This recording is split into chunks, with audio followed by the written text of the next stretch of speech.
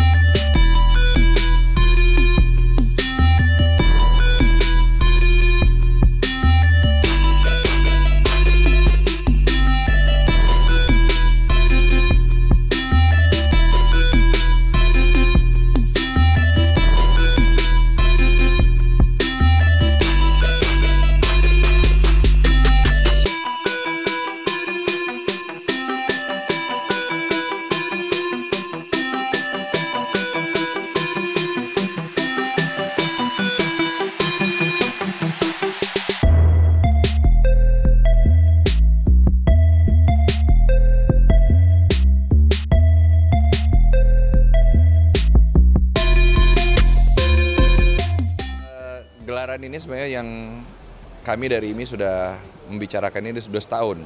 Karena membuat konsep gelaran yang berkelanjutan itu yang eh, perkembangan dari Motor Prix yang sudah ada di Ikatan Motor Indonesia seri kejuaraan nasional Motor Prix Region ini nggak gampang. Karena apalagi ini akan diliput live di TV dan itu eh, kami dari IMI duduk saya kurang lebih setahun membuat konsep yang cocok buat TV, cocok buat pembalap, dan cocok juga buat komunitas. Nah, Alhamdulillah minggu depan insya Allah dengan launching hari ini, insya Allah minggu depan ini udah mulai seri 1, di mana paling nggak pecah telur lah.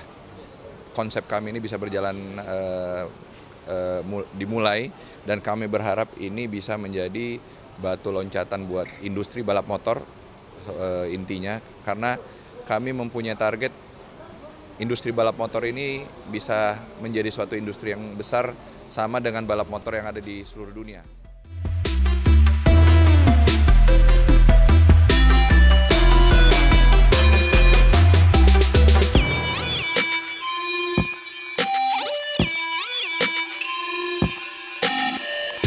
Untuk TV One kita sudah punya expertise sama sama uh, uh, mindsetnya. Kita harus bangun local sport. Itu kita bangun One Pride dari 2016 sudah jadi nomor satu di Indonesia untuk mixed martial art. One Prix ini kita sudah tahu ada supporternya yang balap motor, ada banyak di Indonesia. Tapi enggak ada yang lokal semuanya dari luar negeri. So untuk kita sendiri kita mau yang ada local sport yang bisa bangun. Kenapa?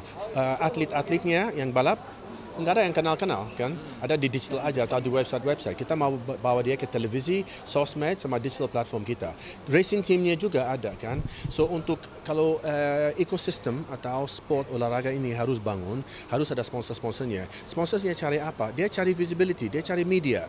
Itu yang TV One bawa ke ini. Untuk brand-brand sama sponsor-sponsor yang mau uh, bantu kita untuk uh, investasinya to, to build motorsport uh, One Prix kita bisa bangun jadi nomor satu di Indonesia juga Yeah.